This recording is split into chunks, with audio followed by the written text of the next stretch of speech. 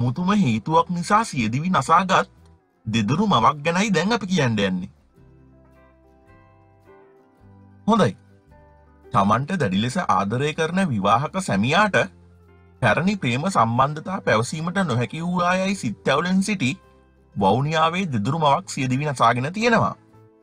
වෞනියාව නෙළුම්කුළම වටරවම පාරය පදිංචිව සිටි වසන්තා රූබන් නැමති තිස් දෙහැවරදි කාන්තාවක් තමයි මෙසේ සියදිවි නසාගෙන තියෙන්නේ. මෙම මියගිය කාන්තාවට වයස අවුරුදු දොළහක හා වයස අවුරුදු පහක දරුවන් දෙදෙනෙකුද සිටින අතර සැමියා ඇල්ජීරියාව නම් රටේ සේවය කරන පුද්ගලයෙක් බවයි වාර්තා වෙන්නේ.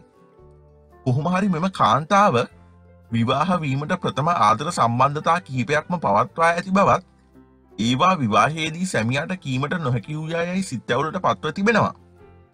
සැමියා විදේශය සිට දුක්මහන්සියෙන් හරිහම්ම කරනා මුදලින් තමන්ට සැපවත් ජීවිතයක් ලබාදීමට සුපෝපභෝගී නිවසක් තනාදීම කෙරෙහිද ඇය පසුව ඇත්තේ දැඩි කනස්සල්ලෙන්. සැමියාගේ ආදරය දරා ගැනීමට නොහැකිව ඇය ජංගම දුරකතනයේ වටසැප් හරහා සැමියට මේ බා ප්‍රකාශ කරමින් පණීඩයවා තිවෙනවා. කොහොමරි පසුව ඇය තෙවරක්ම ගෙල කපාගෙන ඇති නමුත් ඉන් මරණයට පත් නොවීම නිසා ඇය නිවසේ ලිඳට පැන සියදිවි නසාගෙන ඇති බවද මූලික පොලිස් පරීක්ෂණවලදී හෙළිවෙලා තියෙනවා.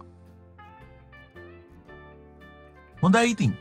වයස අවුරුදු දුළහක සහ වයස අවුරුදු පහක දරුවන් දෙදෙනෙක් සිටින මව තම සැමියාගේ ආදරය වැඩිවුනා කියලා මේ වගේ තීරණයක් ගත්ත එක ගැන ඔයාලගේ අදහසත් කමෙන්ට් එකක් දාගෙනම යන්ඩ ඒ වගේම මේ වගේ අරුම පුදුම දේවල් දැනගන්න අපි චැනල්ල එක සබස්ක්‍රයිබ් කරන්නමත කරන්නට එපා.